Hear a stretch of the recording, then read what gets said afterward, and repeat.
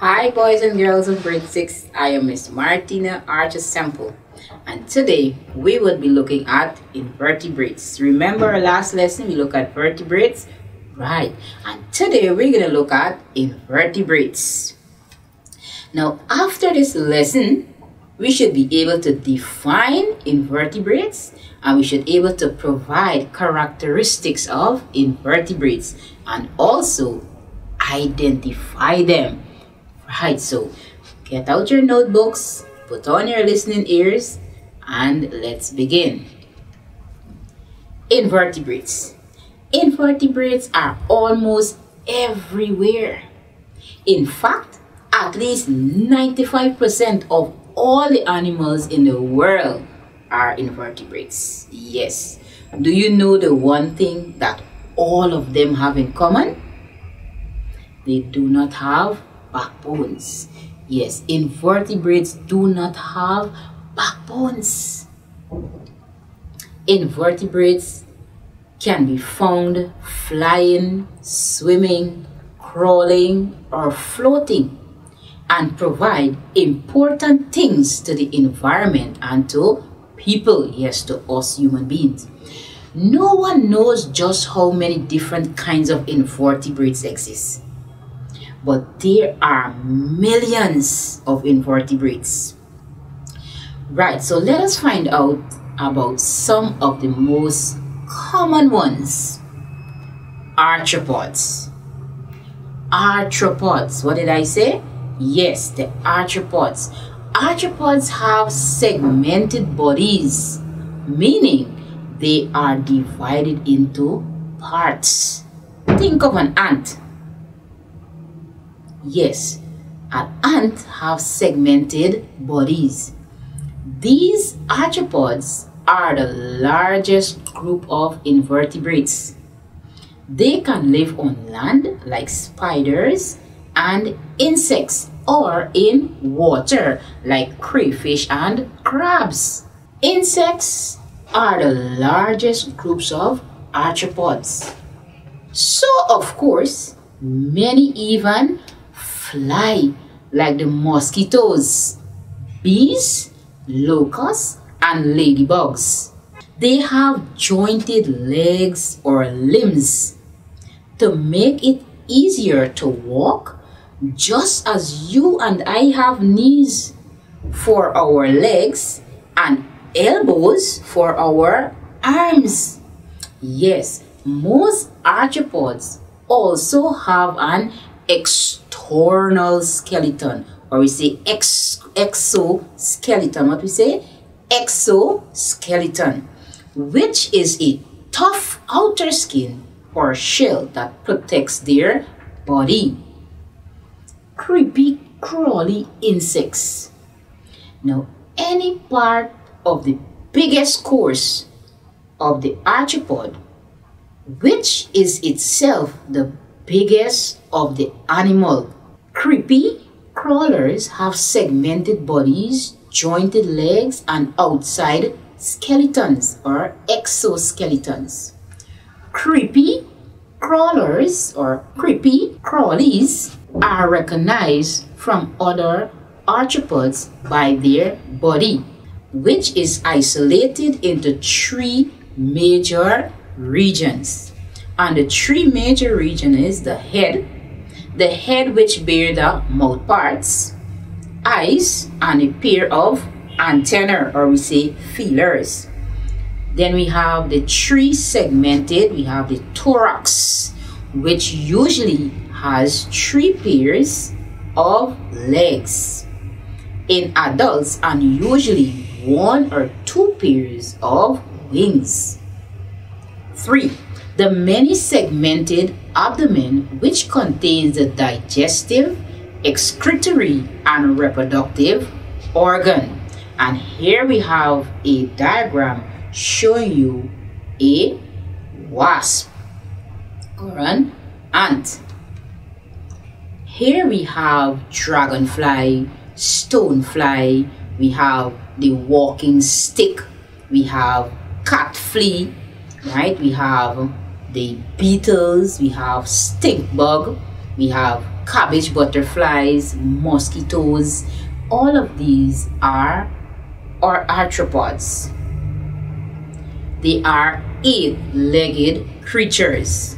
Eight-legged creatures, any part of the arthropod group that includes spiders, daddy long legs, scorpions, and the mites and ticks as well as lesser known subgroups.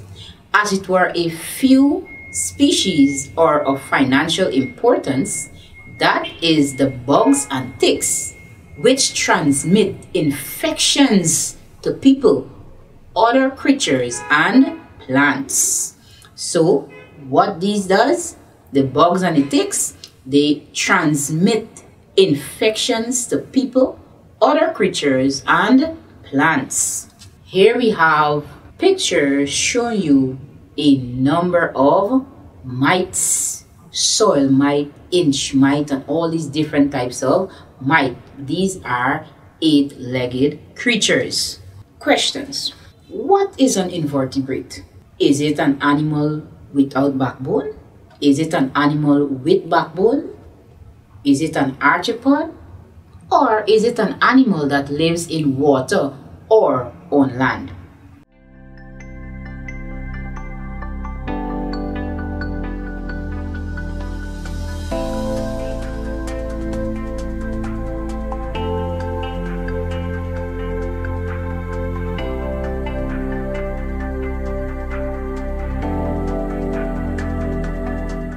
Question 2. The largest group of invertebrates is the arthropod.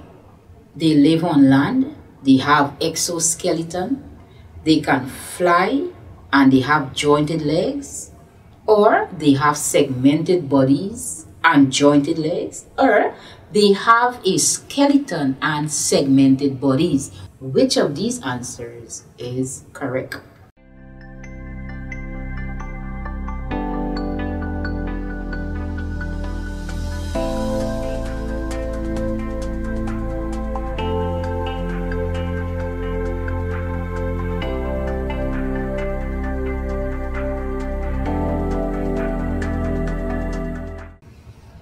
Question three. Why do some mollusks have a shell? A. So they can live in water and on land. Or B. To make it easier to find food. C. In case they lose their exoskeleton. Or D. To protect their soft bodies. Which of these answers is correct?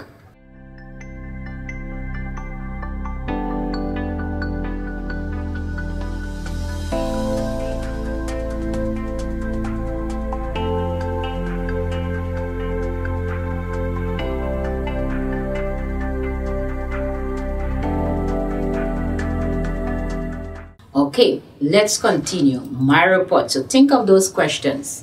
Myriapod. Any member of several closely related groups of the invertebrates, phylum, Arthropoda, including the extinct Arthropolida, extinct Delapodia or millipedes, the Cleropodia or centipedes, Pauropoda, and Symphyla, the myriapods are a little known group, although some 11,000 living species have been recognized. Here we have a picture of a centipede. That thing that stings you and cause you to get fever and vomiting and so on. Yes, it's a myriapod. Now, most myriapods are seldom seen some attract attention by spectacular mass migration, while others are found occasionally in dark corners of houses and other buildings. Certain tropical species can inflict painful bites on humans if handled or accidentally encountered. The same scorpion is one of the most dangerous myriapods I know of. Okay, the primary significance of myriapods is the role they play in ecological balance of forested region. In addition, their limited ability to migrate, their dependence upon stable conditions of moisture and shelter, and their general intolerance of seawater together with the fact that they appeared rather early in geological history and have since evolved little, make the myriapods important indicators of land or water relationships. They can provide useful information for understanding evolution and geographic dispersal. Because myriapods are largely developed, they play an important role in the breakdown of dead vegetables material. Some species are primarily carnivorous. However, myriapods are most abundant and diverse in tropical and temperate forests. Although some species of dilopods and an even greater number of chilopods thrive in grassland or semi-arid habitats. The others live in desert conditions. All right, now this would have brought us to the end of this lesson. For you boys and girls, let's recap. We talk about invertebrates and we say that invertebrates are almost everywhere. In fact, it at least 95% of all the animals in the world are invertebrates. And we know that invertebrates can be found flying, swimming, crawling, floating, and provide important things to the environment and to people. But no one knows just how many different kind of invertebrates exist. But there are millions. And we looked at arthropods and we said arthropods have segmented bodies meaning they are divided into parts and we use a ant for example right so arthropods are the largest groups of invertebrates they can live on land like spiders and insects or in water like crayfish and crabs. Then we have insects. Insects are the largest groups of arthropods, so of course many even fly, like mosquitoes, bees, locusts, and ladybugs. They have jointed legs or limbs to make it easier to walk, just as you have knees for your legs and elbows for your arms. Most Arthropods also have an exoskeleton, which is a tough outer skin or shell that protects their body. We have the creepy, crawly insects. We have the three parts, which is the head, and the head, which bears the mouth parts, the eyes, and pair of antenna. Then we have the three segmented, the thorax, which usually has three pairs of legs. Then we have the many segmented abdomen, which contains the digestive, excretory, and reproductive organs. We have pictures of the eight-legged creatures. So, this would have brought us to the end of this session. Please ensure to research invertebrates look up at some arthropods, arachnids, mollusks, and all the different types of invertebrates. Until next time, I am Miss Martina Archisemple saying stay safe. Bye.